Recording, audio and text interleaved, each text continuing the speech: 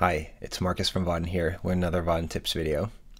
This week we're going to go back to basics and just take a look at how the basic vertical and horizontal layouts work. We're going to take a look at things like setting margins, spacing, sizing, alignment, justification, all that good stuff.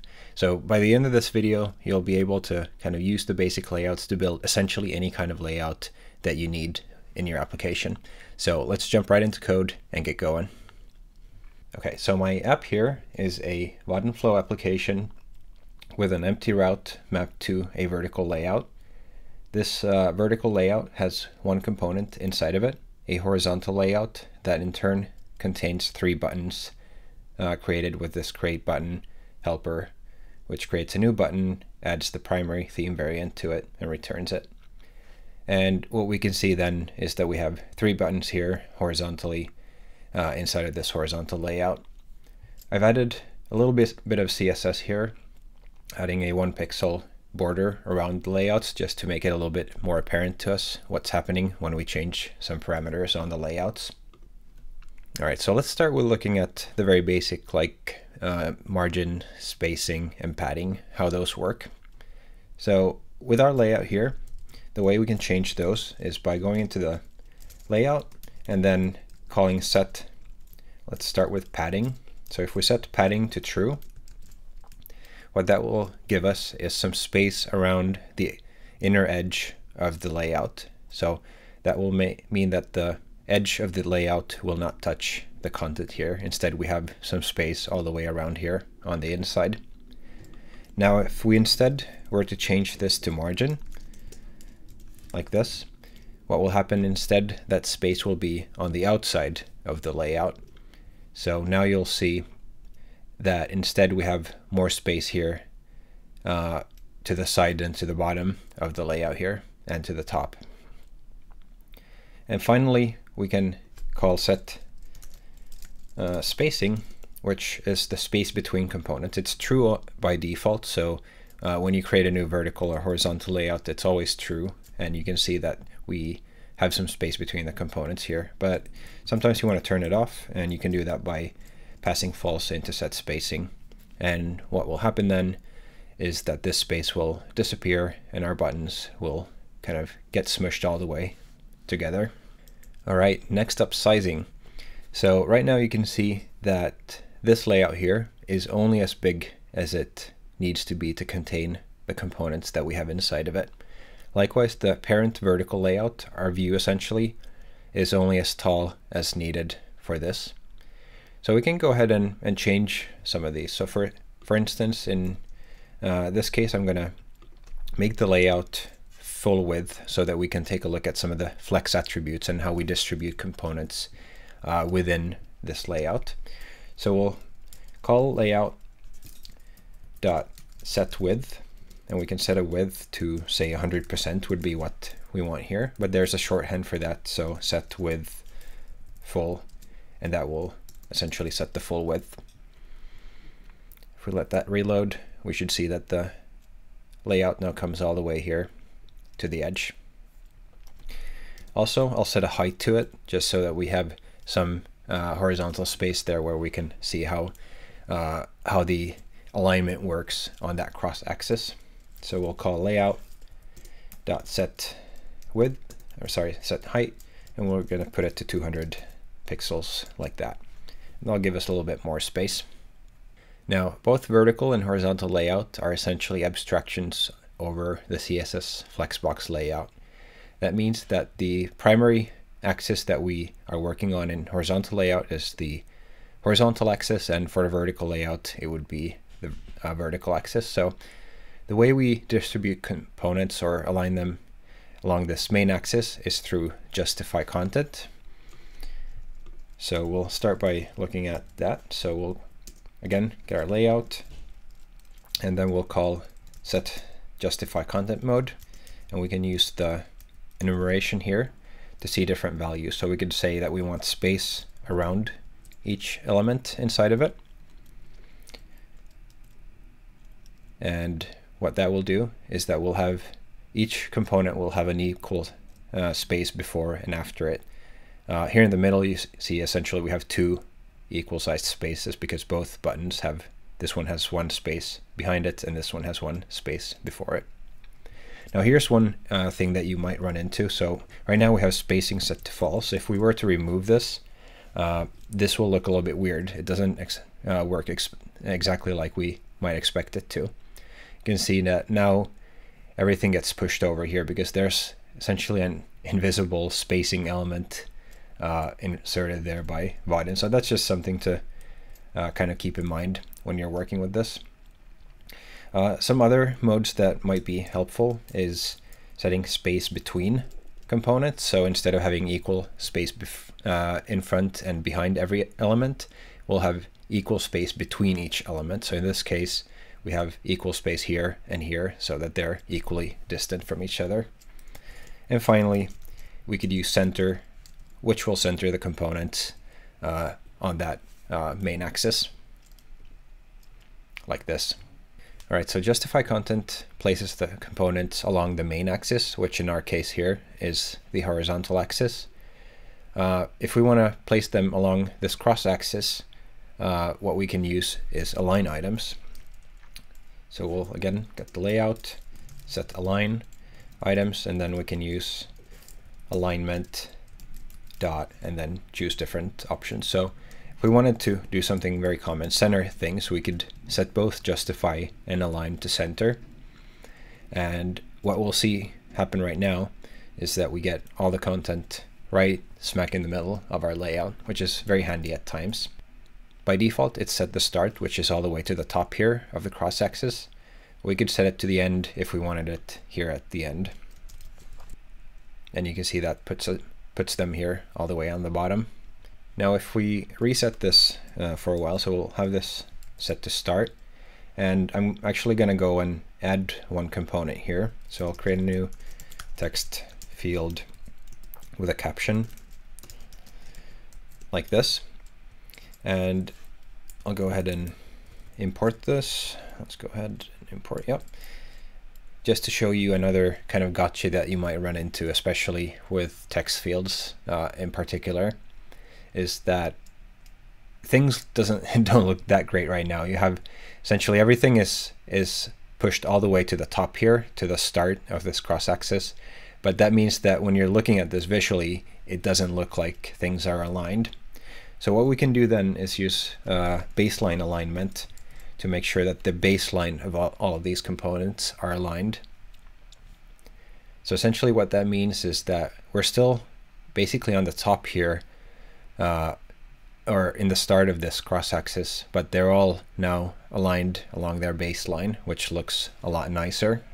Now the same here works the other way around if we change from a horizontal layout to a vertical layout. So if we change this to a vertical layout, you'll see that first of all we'll have the components now on top of each other as opposed to next to each other. Uh, the centering that we have here for justify content doesn't work because again this is now set to 200 pixels tall so we actually want to have it full height so if we want to set a layout to full height and full width we can use the shorthand set size full. And if we call set size full, uh, let's take a look at what happens here. So I'm only calling set size full on this layout here. And that doesn't really make a whole big difference because what that actually does is it sets the height of this internal layout to the same height as kind of the available space within this wrapping layout. So the view vertical layout here. So for that to actually have any kind of effect, we actually need to call set size full on the parent layout as well, essentially giving it enough space where it can uh, expand like that. So now we can see that they are justified here uh, uh, in the center. All right, so we'll uh, can go ahead and actually remove this right now and kind of go back to the alignment here. So by default, we want to have everything aligned to the start. So in, in case of the vertical layout, the start means uh, the beginning here, all the way to the all the way to the left. But we can override the alignment also for individual components. So if I wanted to say have this text field all the way to the end here, I can call layout dot set align self and then I'll use again the alignment uh, helper here. I'll select end and then I need to tell which component should be aligned. In this case that will be the text field. All right, let's see. Well, actually I'll, I'll use the last here but because I already extracted that out. So I'll use last and that should get this button put all the way here to the side. There you go. So you can set the alignment both for all the components or you can set kind of override the alignment for one individual component if you want to. Now let's go back to the horizontal layout just so we have uh, so we can take a look at two two more things I want to show. So we'll go back to horizontal layout here. I'll remove the text field. We don't need that for this. I want to cover another kind of common use case that you might uh, run run across in in your applications. So we have our we have our layout here, and what we want to do is we want to have a gap between some components so that this button, for instance, will be all the way here to the side. That would kind of be very normal in a header. You have a logout button or a avatar or something here to the side, and then you have some menu items here. Now there are a couple different ways you could do that, but the one we're going to take a look at is using the margin to kind of push that component all the way to the side. Now in order for that to work, again, we need to make sure that the layout spans all the way there. In this case, you can see right now because it's it's got the border, it actually ends here, so we can't just use a margin to push the component all the way outside of it, the layout. So we need to start by uh, setting the layouts width to full. So we'll grab this last element here and we're gonna get the styles. We're gonna set a new style on it, the margin left, and the value we want here is auto, which will essentially push it as far as it can go in that direction. So let's take a look at what that looks like in, in practice.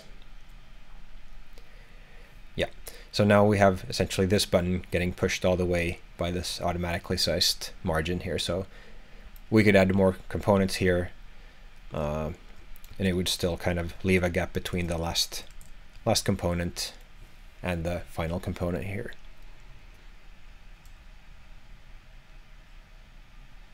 like that. All right, um, then let's take a look at flexing items. So how do we distribute space, like extra space between components? So I'll remove this uh, set style here, and instead we'll take a look at using flex. So we can call uh, layout.set flex grow, and we can say that we want one specific component to take up kind of all the extra space here and we can tell that we want the last component to take up all the extra space. Essentially, it'll distribute this extra space, give it to this button, and expand it all the way, which will look like this. Actually, I'll go ahead and turn the spacing back on so it's a little bit easier to see where one component ends and one starts.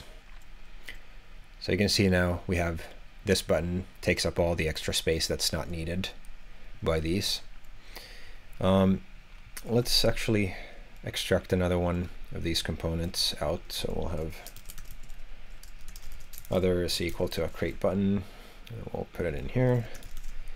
And what we can do then is we'll say that other should get twice the size of the extra space than the last one. So essentially this will mean that whatever space is not used by the rest of the buttons will get uh, distributed so that this button gets two parts of it and this button gets one part of it.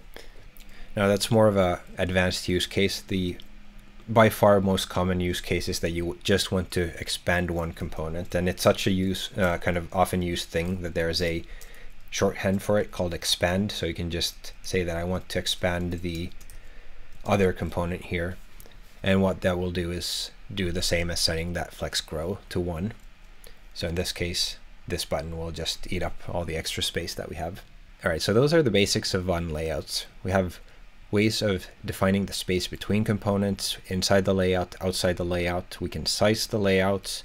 We can align items uh, along the cross-axis. We can justify them along the main axis. And we can use flex to determine how much space each component should get. Now, as the last thing, what I want to do here is just show how we can combine all of these things that we just learned into building a uh, actual layout. So we're going to build something that has a header with some buttons. We can actually reuse the layout we have here.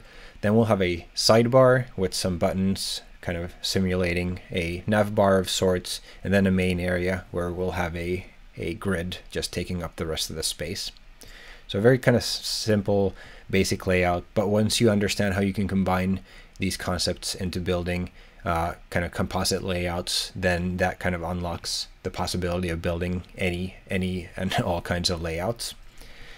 All right, so um, let's go ahead and rename our layout to header, and we'll give the header full width. And let's remove this for now and get back to that in just a second. Mm, actually, I'll clean up this too just to kind of keep the code focused on what we need.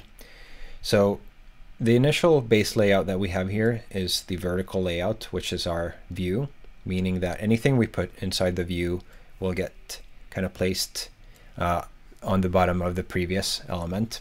So that's good. We want the header to be on top of the rest of the component.